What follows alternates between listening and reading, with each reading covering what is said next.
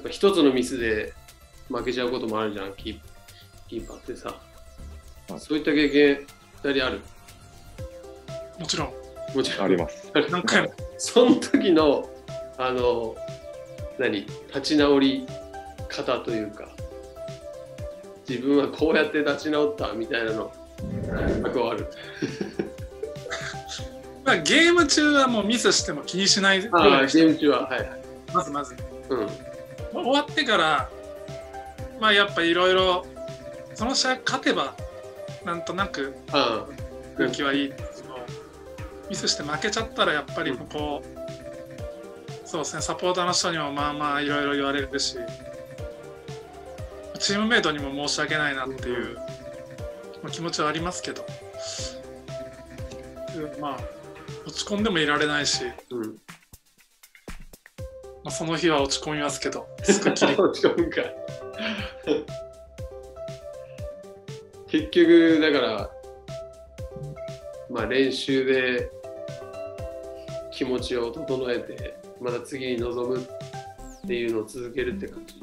そうだって練習で絶対しないようなミスしちゃうことありますからね、やっぱしそうプレッシャーとかあるのか、なんなのか分かんないですけど、100本やってもミスんないだろうなみたいなやつをおお。試合でミスっちゃうことってあるんで、ははは。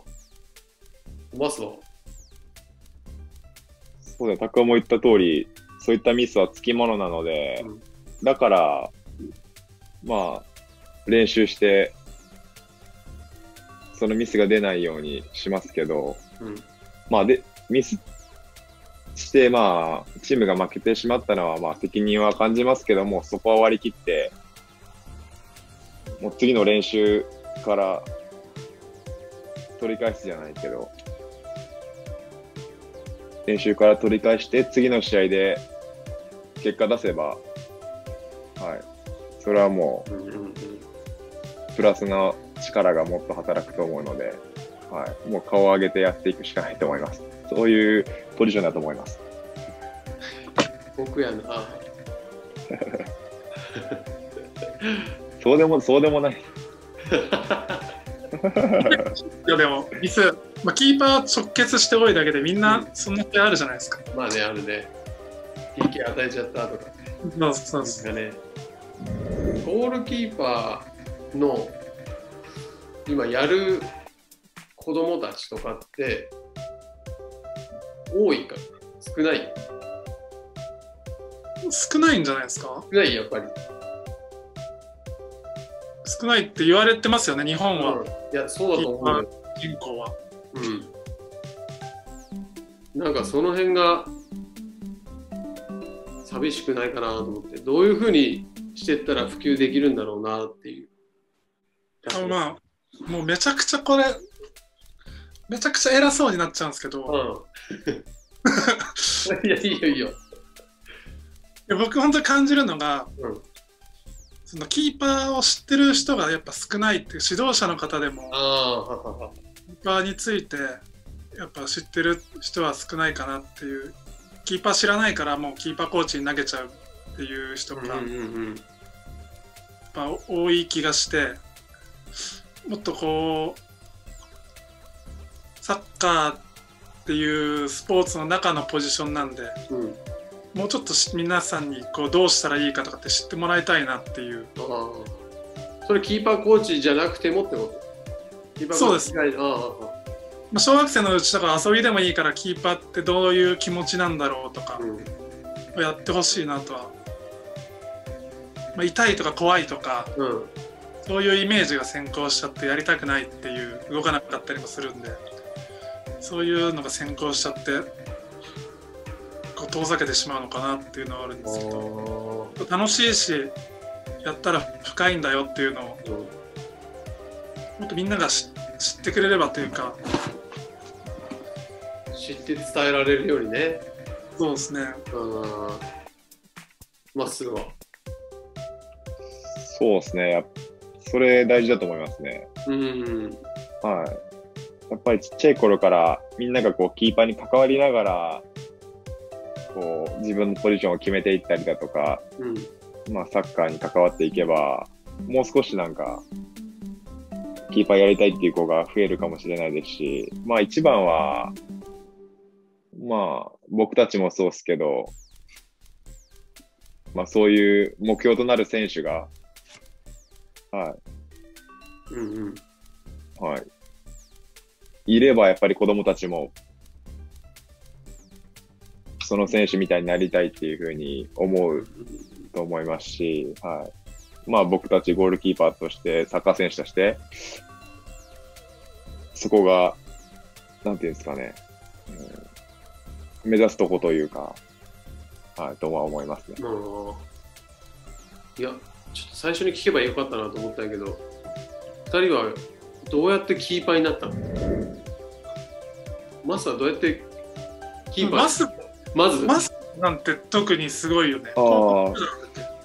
いや、でも僕最初、サッカー始めたきっかけは、うん。キャプテン翼の若林くんがかっこよくて、で、それでキーパーから始めたんですけど、でもまあ、その小学校の時の先生が、多分身長も大きいし、ボールも蹴れるから、うん。キーパーだけじゃもったいないからってなって、フィールドプレイヤーもえ。やりー、ながら、うん。はい。で、キーパー専門になったのは高校1年生ぐらいで、やば。はい。だから、その、基本、なんか、ゴールキーパーの基本的な技術っていうのは、全くなんか教わってないまま、うん。まあ、運よくプロになって、そこからこう、キーパーの深さっていうのを、プロに入ってから知るようになったんで、そこからなんか、あ、キーパーって面白いなっていう風になったのは事実ですね。えー、じゃあ、はい。逆にそういうゴールキーパーのあり方っていうのもありってことだよね。そうですね、僕、はい。僕のイメージは、その、はい。フィールドプレイヤーが、キーパーやってる感覚でした、ずっと。うんはちっちゃい頃からキーパーやっとかないと、まあ、プロになれないよっていうわけではなくい。はいはいはい。全全くそういうことじゃないと思います。えー、じゃあ希望が湧く少年少女とかいそうだね。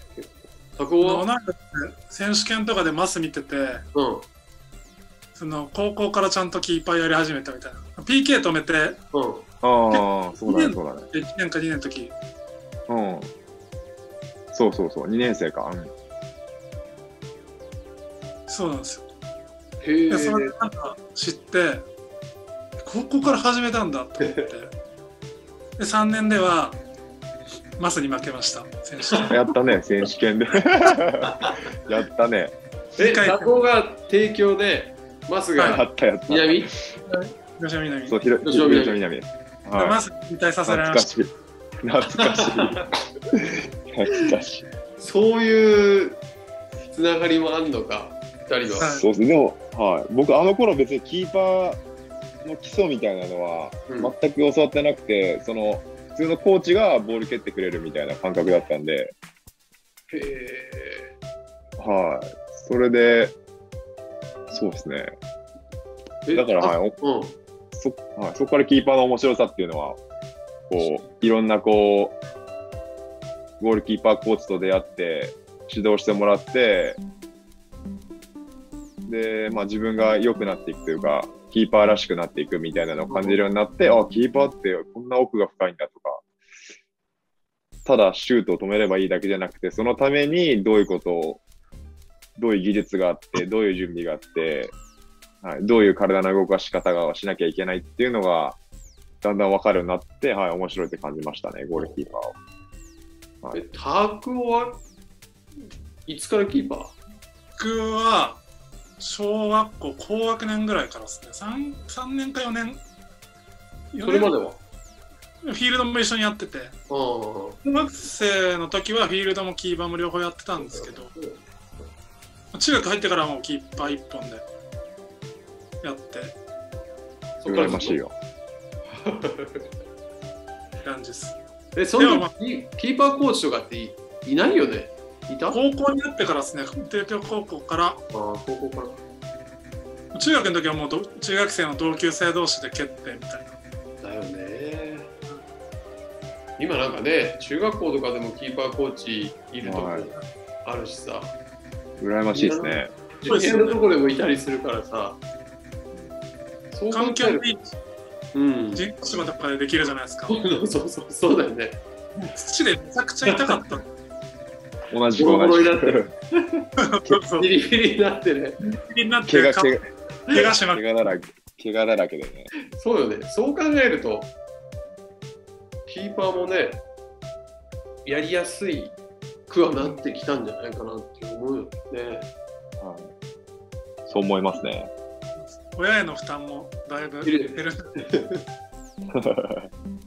だからあれか、2人がもうもっともっと活躍してかっこいいとこを見せることでやりたいっていう子が増えたらいいってことか。え？そうですね。まあいろいろ話聞いてきたけど、なんかやっぱ今の話を聞いて参考にしてほしい部分がたくさんあって、でも最後になんか今ゴールキーパーやってる少年少女もいるし、もしかしたらプロを目指してる人も今いると思うのよ。高校とか中学、高校、大学でサッカー、キーパーやっててね。そういった人たちに、なんかメッセージというか、ゴールキーパー目線というかな、なんかこれは大事だよみたいなアドバイスをしてほしいなと思うんです。ます。僕ですか？うん。僕は、まあやっぱりゴールキーパーは、まあ何回も話出ましたけど、こう、ミスしたら、こう、チームが負けてしまったりとか、うんそういうプレッシャーを背負いながら、プレーしてたりだとか、まあどのカテゴリーもそれはそうだと思うんですけど、まあそういった、こう、苦しいというか悔しい思いもすると思うんですけど、やっぱり、まあチームでゴールキーパーっていうのは一人しかいないですし、うん。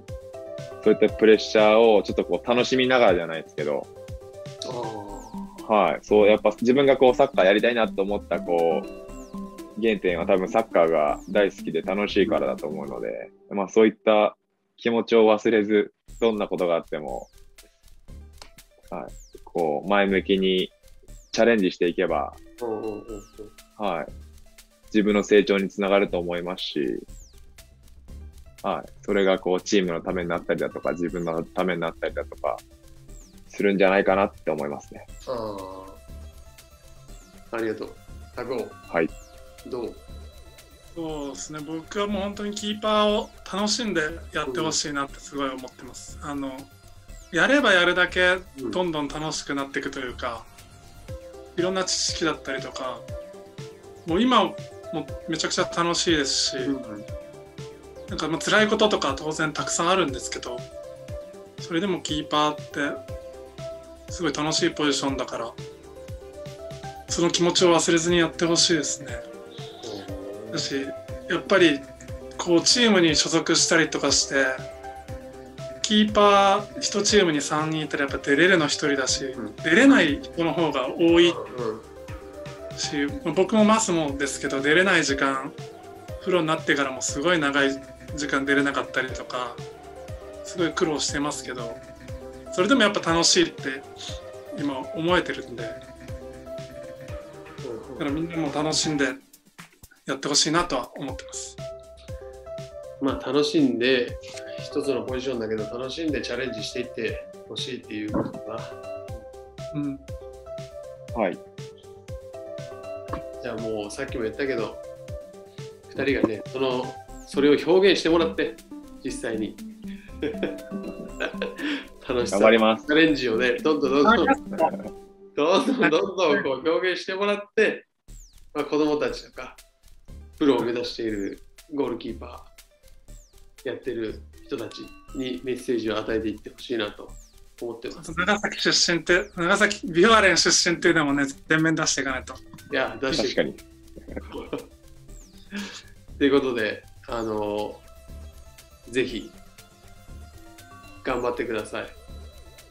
ありがとうございますということで、なんかね、マスとタコは一緒にやったことないもんね。チームで。ではないですけど、はアンダーのあ、あんだ。19歳ぐらいの時かな。ああ、やったね。1歳ぐらいの時かな。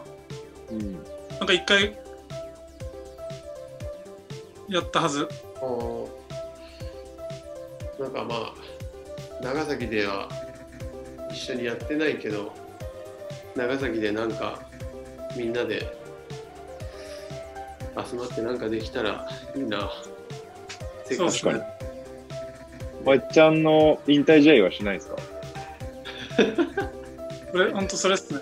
したいね、確二人行きますよ。行きますよ、絶対。かに。よあの長崎やっぱみんな仲良かったし、そうなんよ。楽しかったなって本当に思いますよ。いや、出て行った選手ね、みんなそれ言ってくれるから。はいだからなんか集まるきっかけをさ、作りたいなと思ってさ、お願いします。あるじゃない。はい。なんか別にサッカー教室とかでもいいわけじゃん、それ。はね。やりたいなと思って。その中にゴールキーパー教室みたいなのも。そうっすねあと、呼ぶなら誰です？か植木さんとか、金井純いいね。いいね純喜。んその辺とかもでさ、フィールドプレイヤーでもう、ディフェンス中盤ワードとかでね、なんでいやみんな好きだから長崎のことそうそうそう、そうなんや。思いますよ。来るきっかけをさ、作りたいなと思って。お願いしますあの、YouTube とは余談ですけど、あいちゃん、お願いします。頑張ります。いや、またなんか、長崎で集まれる機会を作りたいので、ぜひその時は来てくださはい、お願いします。行きます。い。はい。今日はありがとうございました。す。ありがとうございましたありがとうござい。ました。